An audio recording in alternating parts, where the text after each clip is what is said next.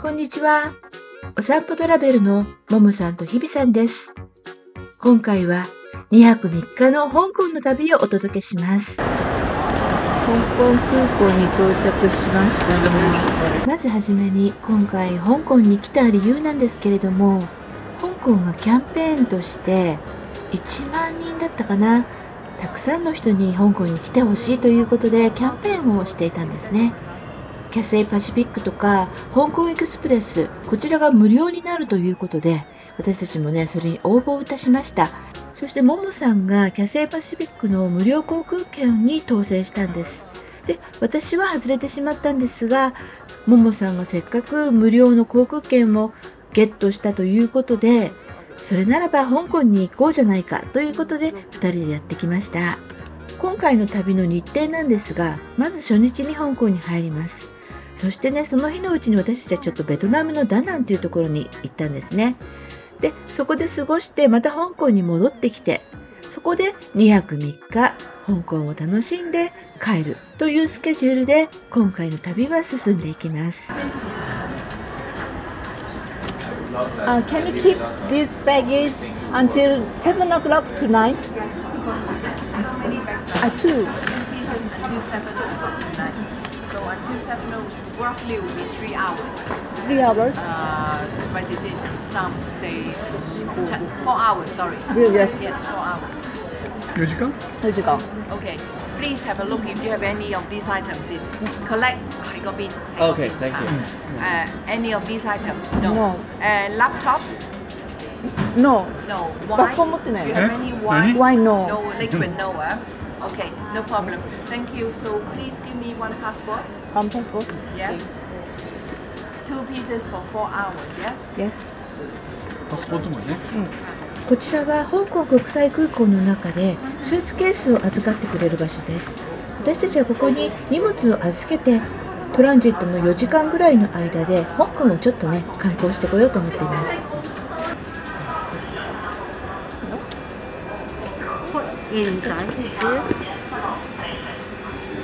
手続きが済んだら自分でスーツケースを持って行ってベルトコンベヤーに乗せます。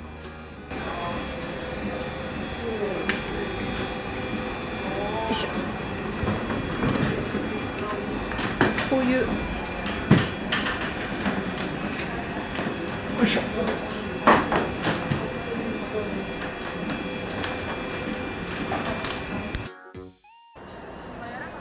次に空港内にある自動販売機でオクトパスカードを購入します。これクレジット全部？ああこれ違うか見て。スタート。あ。これ現金だね。これはこっちは現金だこれはあの違うよ。これはあのチャージするやつ。あ、お釣りが出ないって。ノーチェンジだって。海外でもしわからないことがあったら実際にやっている人のを見て真似するのが一番早道ですよね。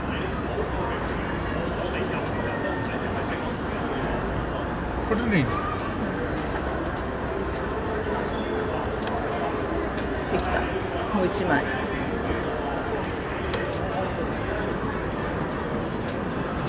取った？うん。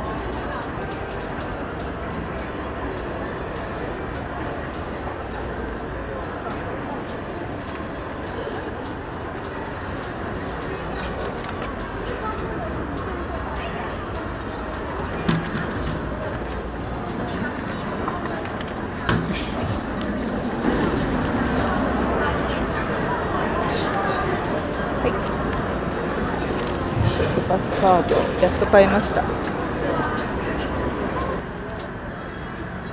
これチャージしなくたっていいんだよねこれね。いあの150だから帰りはチャージしないとうん足りないよね、片道100だから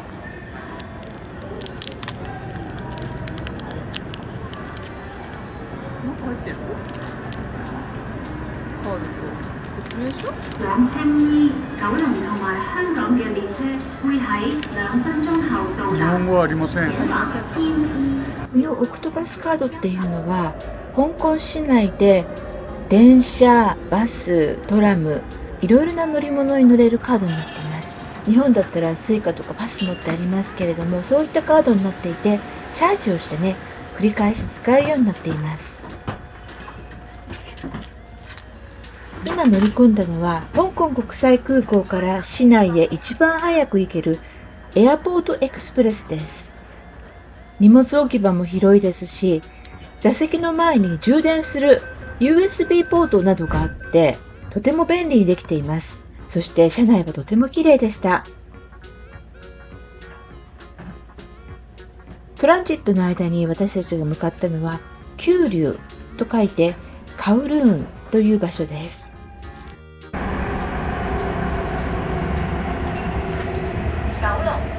中国語ではガオロンもしくはチウロンと呼ぶようです。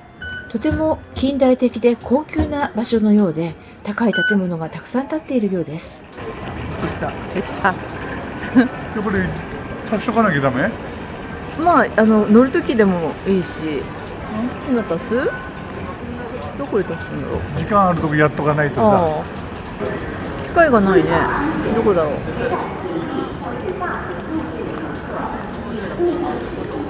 この入り口の前だよね、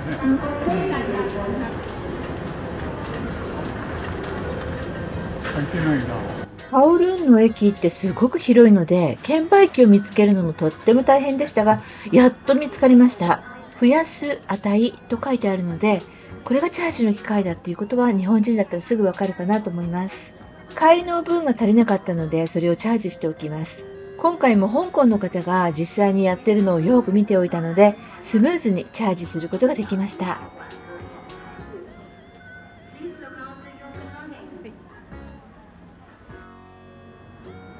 そしてこちらがカオルーンの駅の上にある小さな広場のようなところです。周りを高い建物にぐるりと囲われているんですよね。あれあそこあれあれあれなんだっけ？シティあレストランだって。シビックスクエアっていうのがあるのすげえとね。ねここすごいシビックスクエアっていうのかな。コーロンコーロン。駅の上？カオルーン。カオロンカオロン。の駅の上です。えすごいね。すごい綺麗。でもこっち側ねこんな感じ。うん。これこれが一番モダンモダン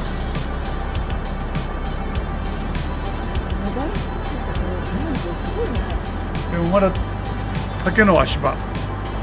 そしてテレビでよく見ていた建築の足場が竹になっている。そういったのも見ることができました。ここはねとても素敵な場所でしたね。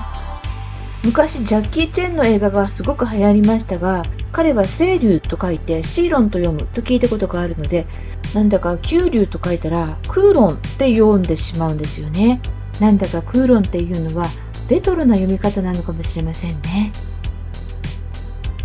私もももさんも前回香港に来たのは30年以上も前になります。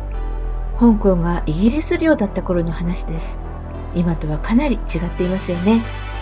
中国に移住されたのは1997年そして香港は今でも進化し続けているようです。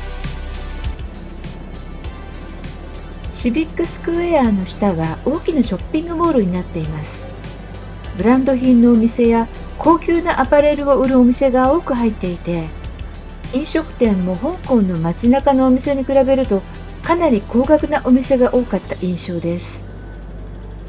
待って。これだっけね。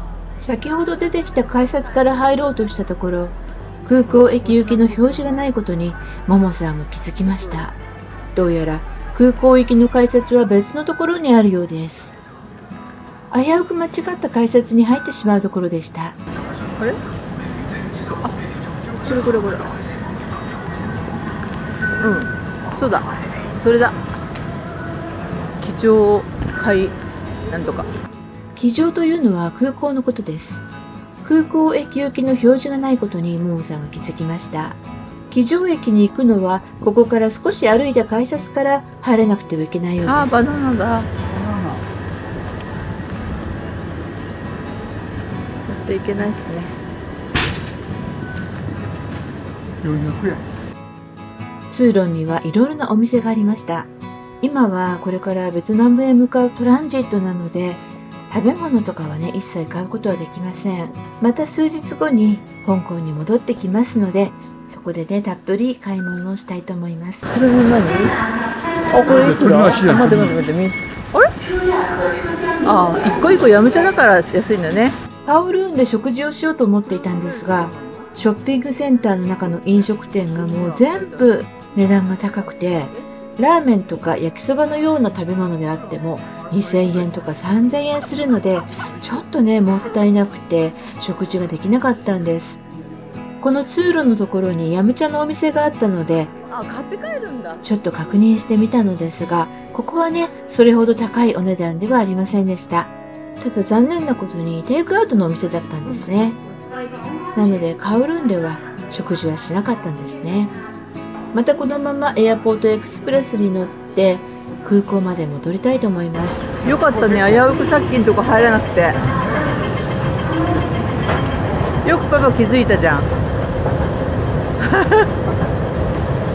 然。ね。あそこらあの中から見て見るのが正解だね。うん真ん中からそうだね。あそこよかったね。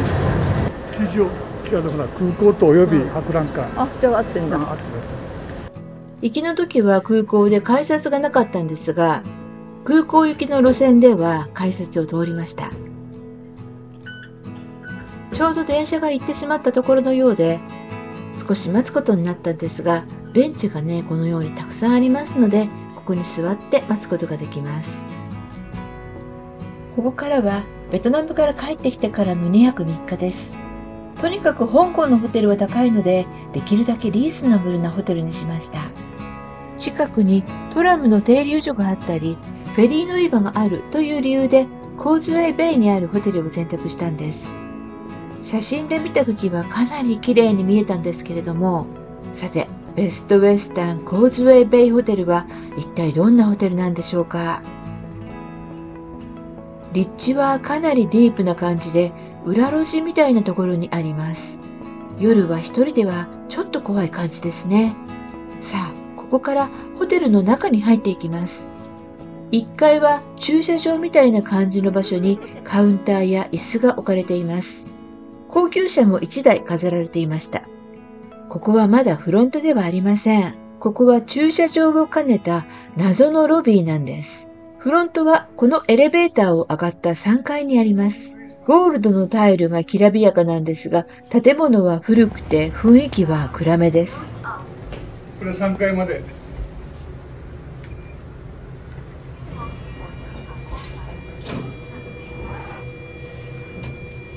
エレベーターの中もなぜかブルーや紫のライトがついていてとても不思議な世界ですこちらがフロントのあるフロアです。ここまではきらびやかな装飾なんですがここから先は今までの旅史上最も凄まじいお部屋となっています。ちょうどクリスマスだったんですがクリスマスをまさかこんな場所で過ごすことになるとは。これでも1泊3万円近くするホテルなんですよ。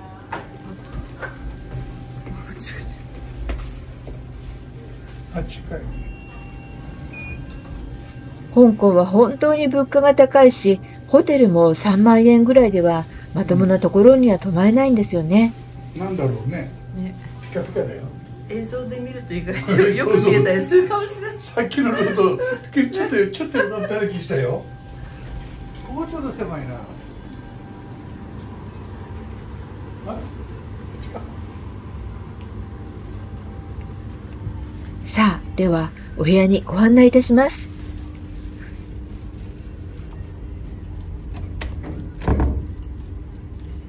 あ違った違う違うスーパースカーこれこっちこっち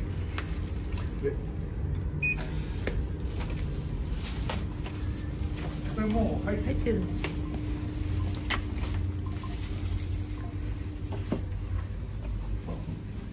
狭い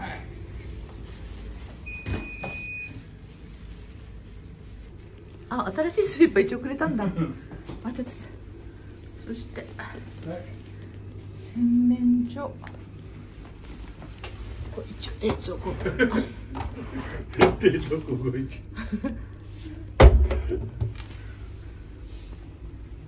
歯ブラシ一応くれたんだな新しいの。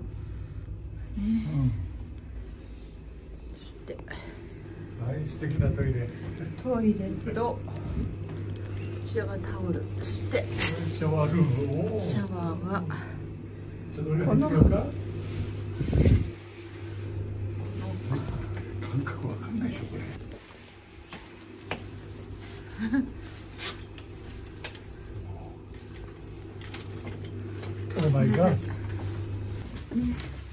このくらいの幅。でテレビでシングルが2つあって。金庫金庫ちっちゃい金庫。でドライヤーがそこにあって。でこちらがテーブルになります。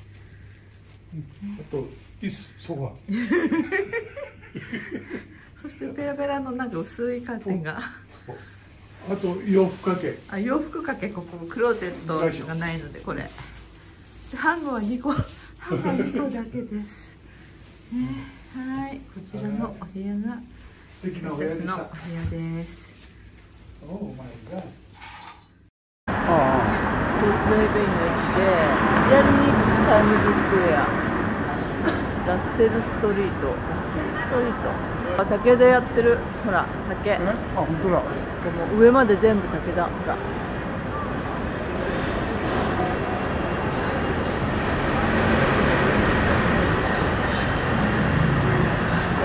あ乗ってる今ここ海はこっちでしょホテルはじゃあここでしょ今こう来てこう来てこう来たんだな今日は2泊3日の中日になります。朝からトラムに乗って香港の西の端から東の端を巡ってみようと思います。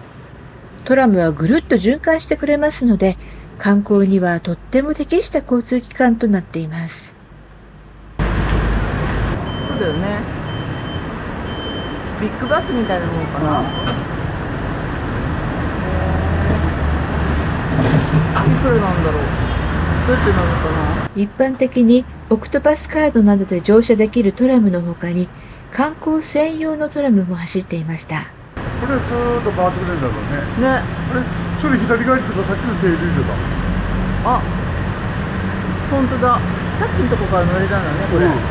あまあまたあれも左側だ。トラムの行き先にはいくつか種類があって、間違った停留所にいると行きたい路線のトラムに乗れなかったりします。あれこれ右側がないってことは反対側行くってやつこれは。向こうに行くやつ？うんこっちは。はじめは乗り方がいまいちわからず、かなり戸惑ってしまいました。わすごい乗ってる溢れてるよほら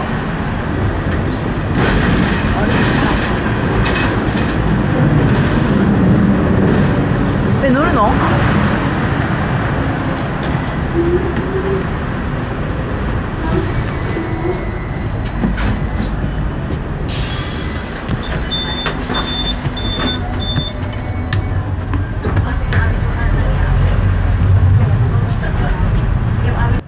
とはいえ、路線も多くはありませんので、少し乗ってみるとすぐに理解して乗りこなせるようになります。おおスレスレだねすごいねトラムの行き先は、ウエスタンマーケット、ハッピーバレー、ケネディタウン。この3つを覚えておくと OK です。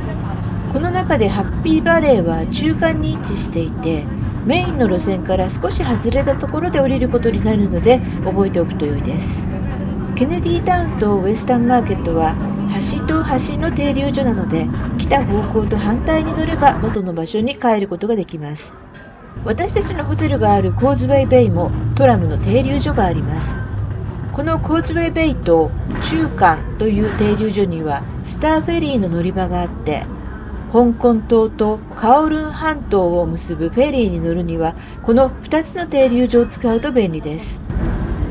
洗濯物っていう上の左上あの本当だ私たちはとりあえずハッピーバレー、ケネディタウン、ウェスタンマーケットまで全ての路線をのんびりと巡回することにしました。主要な場所はこのトラムに乗っているだけでほぼ見ることができるのでとっても楽で楽しかったです。ここはハッピーバレーの市場です。ハッピーバレーは競馬場がある場所になります。洋服や食べ物を売る屋台風なお店が両側にたくさんの木を連ねていますね。ハッピーバレーでは終点になるため、一度降りてからトラムを乗り換えなくてはいけません。トラムの運行なんですが、15分から20分くらいの間隔で運行されているそうです。市内を移動するには他にもバスや鉄道、タクシーなどがあります。行きたい場所にもよりますが基本的に2泊3日くらいの旅であればトラムだけでもしっかりと観光をできると思いますトラムは2階建てになっていますのでやはり観光客は2階に乗るのがおすすめです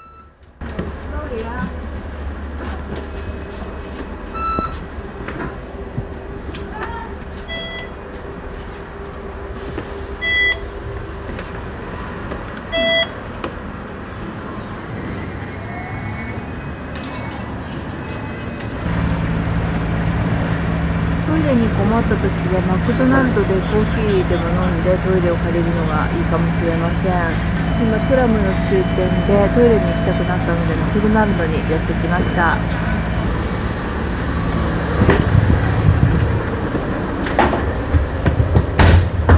どっちがいいの？端っこと真ん中と。うん？端っこ。ここが一番端、うん、西？東？西？あ東。東の端っこですこれから西の端っこまでドラムで行ってみます。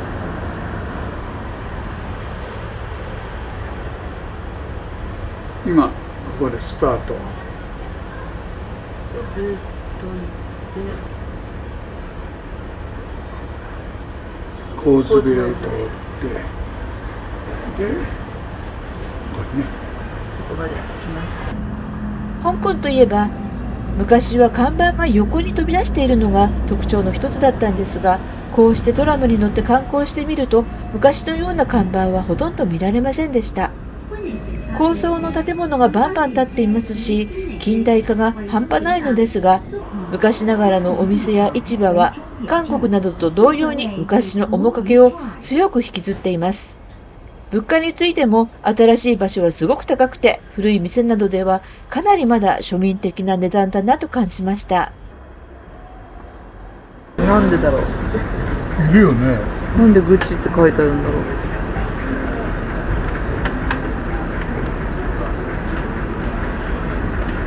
えー、後ろか前どっちか一つあればいいよ。そんなことないよな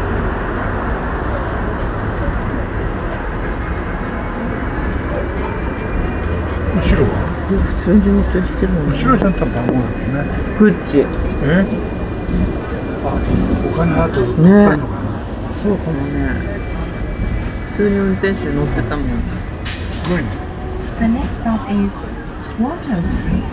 下一站是汕头街。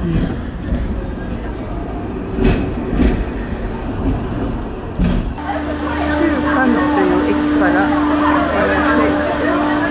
こちらの回廊を通ってフェリー乗り場に向かってます。これからスターフェリーに乗ってチムサー町に渡ってみようと思います。夜は毎日光のショーが行われるのでそれを見るためなんです。少し早めに行って観光をしようと思ってます。フェリーに乗る時もオクトパスカードで乗ることができるみたいです。乗り場はこの中間ともう一つコーズウェイベイにあります。ですので、行きは中間から乗って、帰りはコーズウェイベイ行きに乗る予定です。私たちが宿泊しているのがコーズウェイベイなので、こうして見るとコーズウェイベイに泊まるのは交通的にはとっても便利ですね。ベストウェスタンはおすすめできませんが、コーズウェイベイという立地の選択はとっても良かったんじゃないかなと思います。海越しにビル群を見るとなんだかニューヨークを思い出します。自由の女神に行くフェリーからの景色にちょっとだけ似ているかもしれません。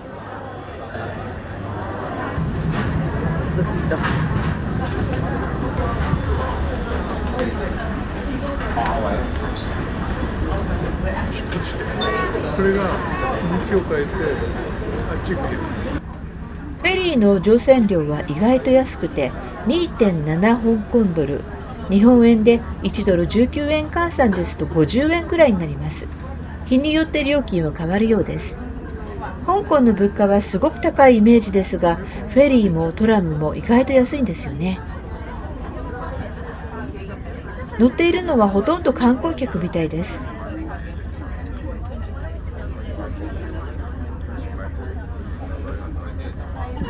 香港島とカオルン半島を結んでいるのはフェリーだけではなくて電車もあるので急ぐ人は電車の方が早いんですね。カオルン半島のチムサーチョイはとても大きな繁華街です。シャネルやフェンディなどのブランドショップがたくさん並んでいてショッピングセンターもとても高級な感じの建物になっています。香港島のちょっと古い感じがする街の雰囲気とはチムサーチョイはかなり違っています。おしゃれで高級な街になっていてたくさんの若者でとても賑わっていました。毎日夜8時に開かれる光のショーはシンフォニー・オブ・ライツと言います。そのショーを見るために多くの人が集まってきています。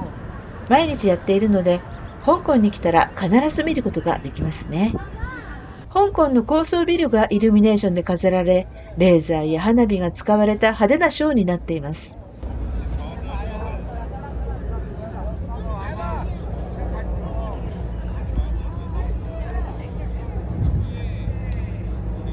空論島から香港島を見てます。わあ眩しい。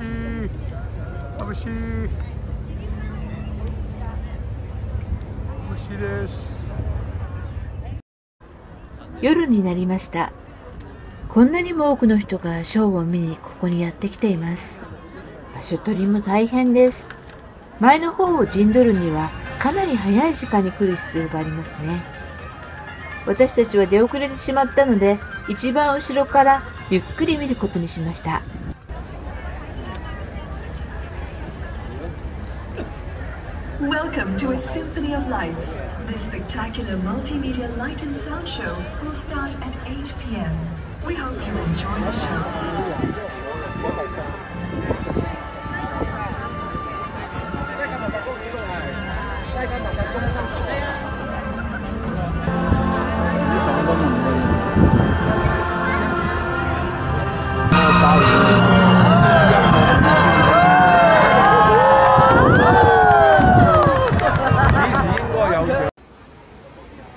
さすが香港の夜景はきらびやかですね。こちらは1881ヘリテージというショッピングモールです。1996年までここは香港水上警察の本部だったようです。ここから少し奥に歩いていくと飲食店街があるようなのでちょっと行ってみます。ここは日本で言うと飲み屋街みたいなところです。ここには美味しいスープのラーメンがあるって聞いたんですがちょっとね残念ながら見つけることができませんでした。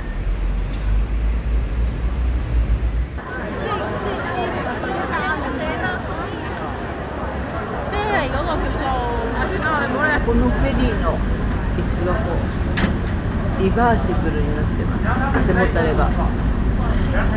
先によって変えられます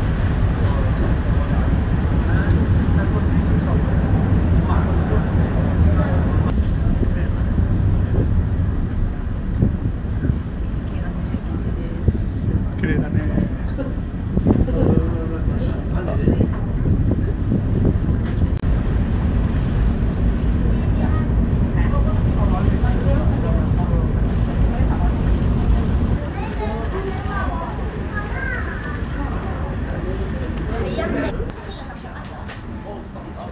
ここに背もたれがリバーシブルになると書いてありました。救命胴衣もこちらに用意されています。人数分あるのかはちょっと分かりませんでした。ニューヨークのフェリーの救命胴衣はどう見ても足りない感じがしたのでちょっと不安でしたね。ね。千葉向こうはなかったのに、うん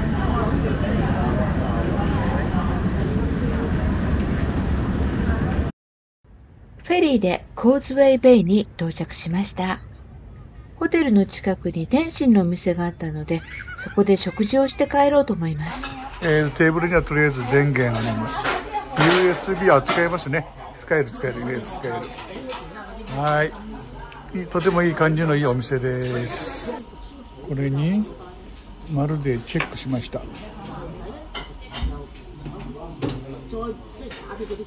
やっと？ほら。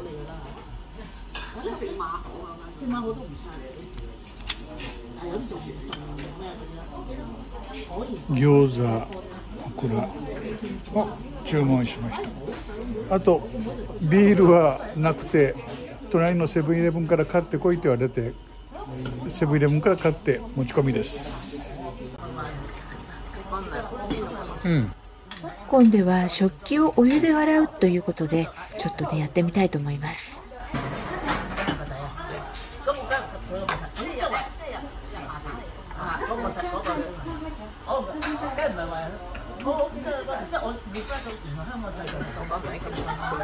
咁細路仔，我好記得啊！咁嗰時佢話啊，有一次你哋講話，嗰陣時細有細路嗰啲仲細啦。咁我記得就話啊啊啊啊啊呢個啊 A 啊 A 同同學 A 就話啊係啊，我兩個喺食歌幼稚園喺唔仔嘅諸如此類咁樣誒誒。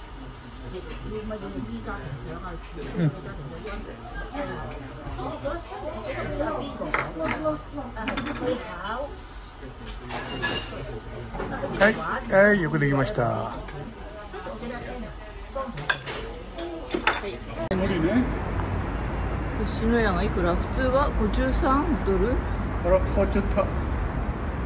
あ動画もあるの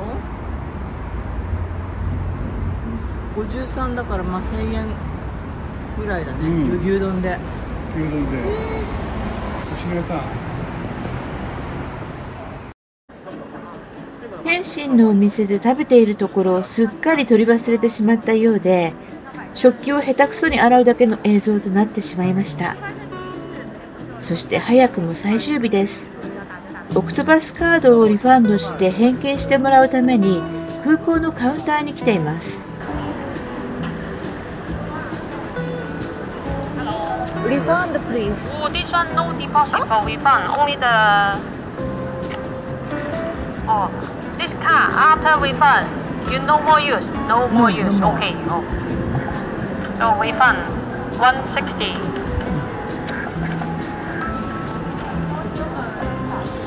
Second one, same.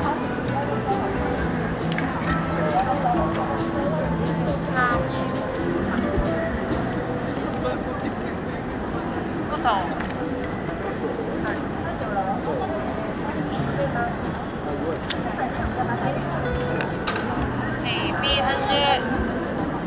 買咗啦，買咗啦，Thank you. 拜拜。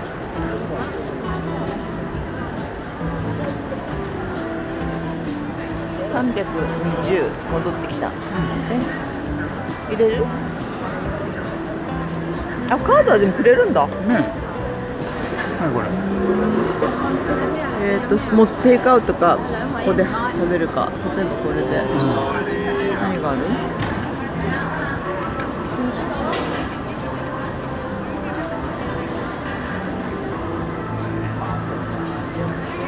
それ違う。それ違うでしょ。か 看板看板。あここはピザとかそういう洋食だ。洋食だ、ね。これで人数を入れてそうすると答えが出てくるので順番を待つことになります。で A の028番になったら入れるってことか、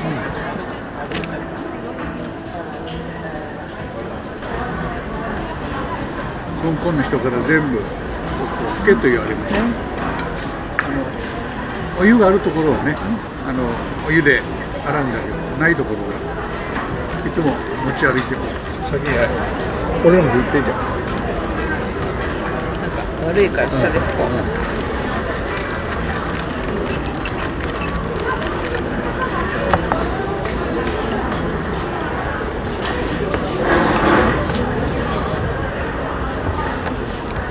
はい、お疲れ様です。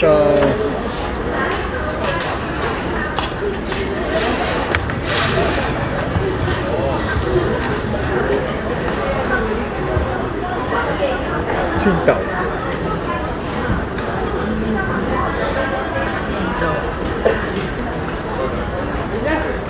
まあ、とりあえずいただきます。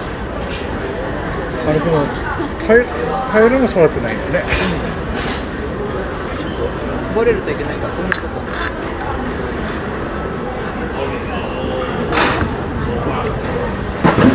これも指入ってる、やっぱここは美味しい。美味しいね。うん。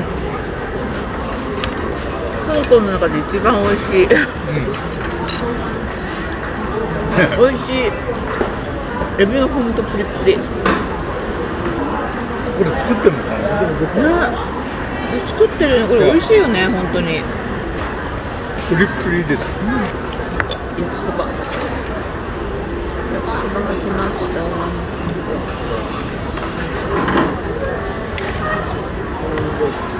なんか焼きそばの麺がさビーフンみたいななんか、うん、細くてビーフンみたいな感じの麺。エビ。なんだこれ。お肉。あこれで取る。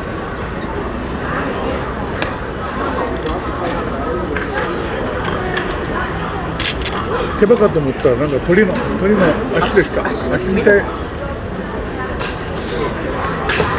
これも匂いが中国って匂いする。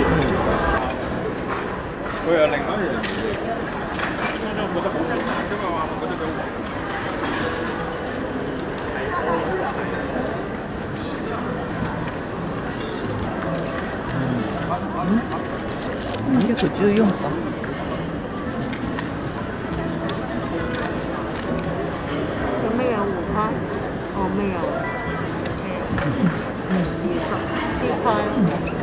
お